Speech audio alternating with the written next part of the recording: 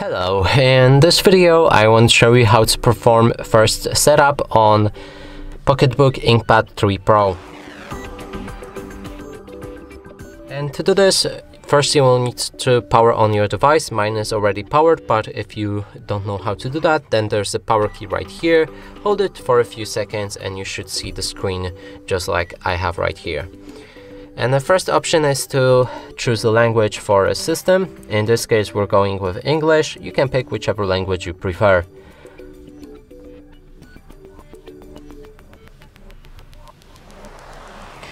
Here's uh, legal legal terms and conditions that you can read through. Also, we will need to agree with them to proceed.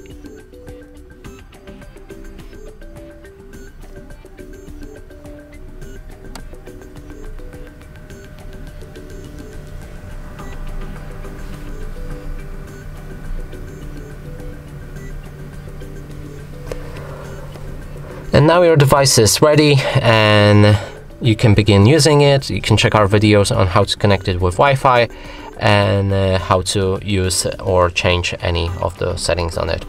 And that's it for this video. Hope you like it. Please consider subscribing to our channel, leave a like and a comment below.